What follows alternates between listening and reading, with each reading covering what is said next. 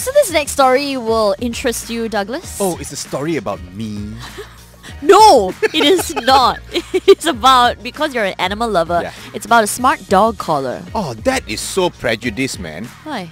Why only have a collar for smart dogs? There are a lot of dogs who are not smart. Like my Mia, she's very dumb, but she's so adorable. She also deserves collars. Okay, first of all, poor Mia. Second of all, this is not about that at all. It's about like a tech smart Oh, like dog. a smart watch. Yes, smart collar. correct. It's a gadget, okay. Okay. But this collar is next level. Um, it monitors your dog's vital signs, also doubles as a GPS, an Oh, activity tracker. Okay, but the GPS one will be very, very uh, important and also Yeah. very useful. It, it can detect if your dog is maybe lost, can ah? Yes, can. So when it runs out of the house of the compounds of which you are Oh, in, okay, okay. it sends you an alert on your phone. Um, in a nutshell, it'll be able to tell you when your dog is walking, running, scratching, eating or drinking, barking and eating as well.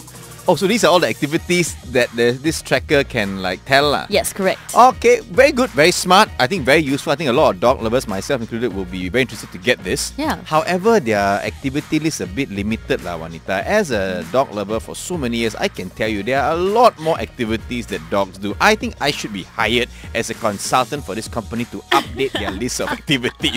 Okay, I see where this is going. Please don't say anything about licking, okay? Oh yeah, I forgot about licking. Okay, oh, no, Oh, no. but based on my experience, right? Apart from just uh, barking, walking, running, right? Yeah. Dogs do this one, no? Fella will steal your socks. then will come and show you that they stole your socks. wait for you to get a reaction like, a Mia, stop stealing my socks, and then run away. So that's one activity that they should add.